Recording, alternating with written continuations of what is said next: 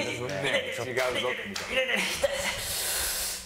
いやーもうちょっとな。あ違いますか？違いますか？な俺は得意指導したよ。ネタや大喜利の時とはまるで表情が違う。まずな、まず靴下脱げまず。なはい。ネタの時とかの大喜利の時とか全然違う全然違いますね目が違う。でももう散々嫌だ嫌だって最初言った方がいいよ。なんでこんなのやんないといけないんですか？いきますよ。じゃあいきます。せーの。せーの。最初の一歩もそうもうそうもううわもうこれダメなやつだとか言わないとそこで。テクニック？そんなことやってんだ。